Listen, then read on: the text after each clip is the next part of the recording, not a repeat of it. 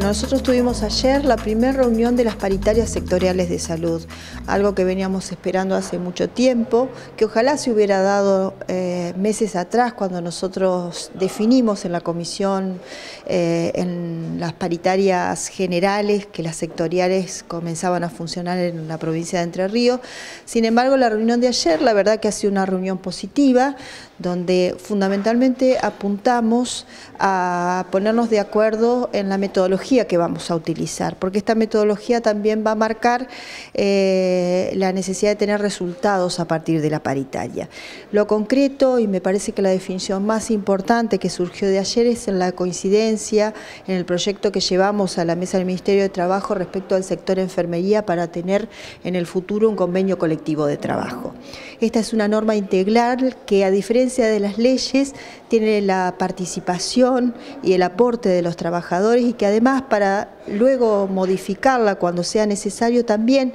van a tener que consultarle a los representantes de los trabajadores. Esta es fundamentalmente una de las definiciones que surgió el día de ayer y para eso vamos a comenzar a trabajar inmediatamente. El día 28 se conforma una comisión técnica que se va a reunir en el Ministerio de Trabajo para dictar un reglamento y a partir de este reglamento empezar a ver la agenda de temas y las cláusulas que habría que eh, componer en ese futuro convenio colectivo.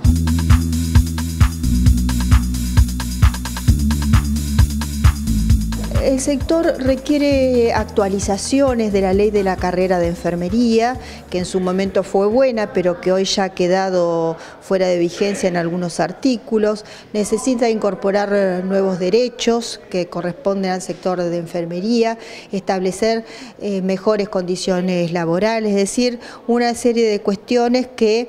eh, tal vez hoy se han logrado en algunos lugares parcialmente en la práctica, pero que deben estar comprendidos en este texto legal, eh, convencional, que le va a dar una fuerza importante y que va a ser una herramienta de los trabajadores. Ya va a ser una herramienta de la legislatura, ni una herramienta del gobierno, sino una herramienta de los trabajadores que tienen la suficiente flexibilidad para acomodarse e interpretarse cuando sea necesario.